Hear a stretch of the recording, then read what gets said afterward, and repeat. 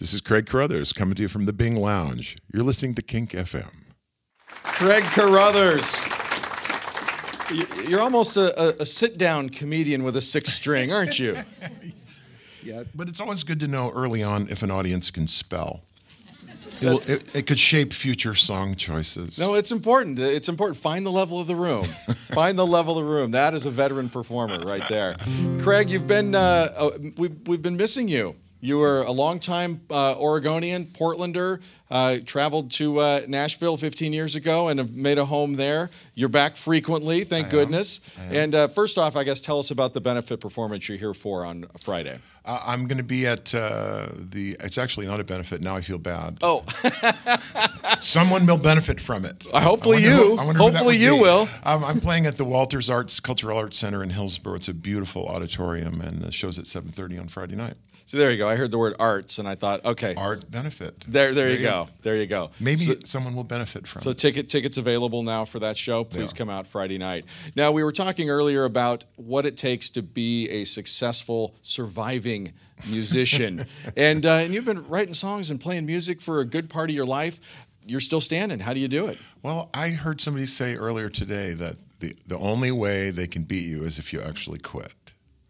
Somebody just said that to me since I've been here in this room today. I asked somebody about what was going on with them, and he told me, and he said, Well, you know, they said the only way they could stop me is if I quit, and I refused to quit, so they couldn't stop me.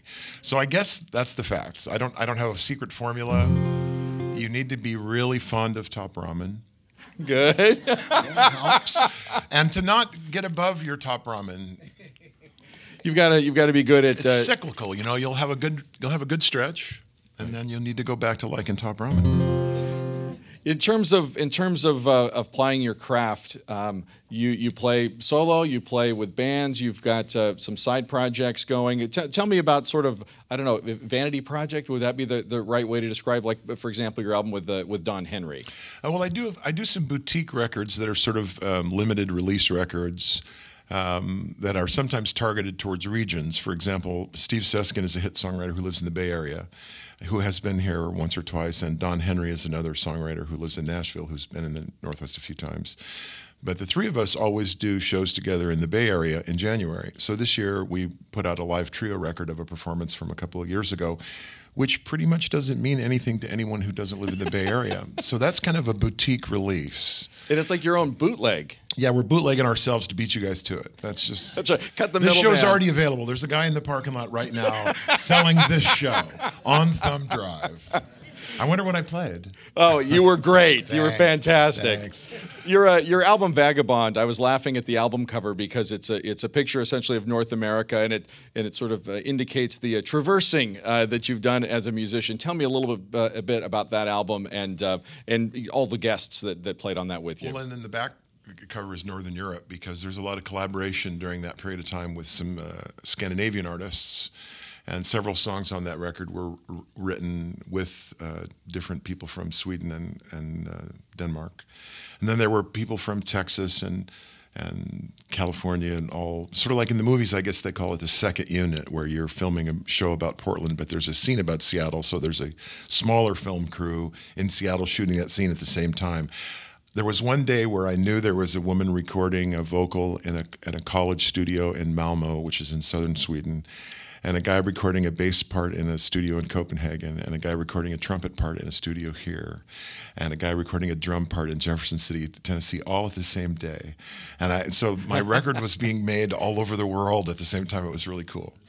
So um, yeah, a lot of traveling. I, I I do two 7,500 mile drives every year to go all the little places that I can't go if I if I just fly. Um, I try to get over and play in Scandinavia every couple of years. A lot of traveling. That's a, so the last of the 20 questions. I'd be uh, I'd be remiss if I didn't bring this up, but as you were here at the passing of the torch from the Bing uh, Lounge to the Skype studio, you actually teach a music class via Skype. Yeah, I got I got a call a couple years ago and got hired at the University of Miami um, to teach a lyric writing class over Skype. So the good part about that is that I can do it when I'm on the road. The bad part about that is I have to do it when I'm on the road.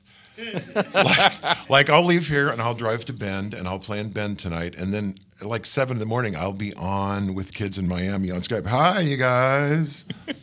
Fantastic. So it's it's I'm really lucky to have it. It's really cool. The Skype Lounge. What's the deal? That's it. What's the deal? We'll find out soon. Okay. Do you have to it. wear a little special shirt when you're? I, th- I think I've got to I've got to carry around an, an iPad with and I just Skype. We don't have to direct deal directly. I'll Skype to you even though we'll be this close next time you come. All right. I think that's how it works. That's I'm not the, positive. That's the fountain of youth, you know, because when you look into a car full of 15 year olds, they're all on the phone, but not to each other. yeah. the secret. There we go. I think There you go. it. Wisdom, music, and wisdom. So I love all the high technology, and here you sit with an acoustic six-string guitar. Like like Joni Mitchell said about when she was talking about James Taylor in the Woman of Heart and Mind, I think, where she says, pouring your heart out, soul out through the sound hole on your knee. I remember what song that's from, but that always stuck with me. That's an amazing description of it. Ladies and gentlemen, Craig Carothers.